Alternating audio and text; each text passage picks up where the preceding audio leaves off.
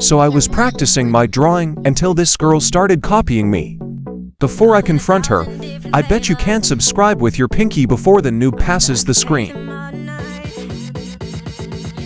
Why did you copy my art? Because yours is bad and mine is better. That's me.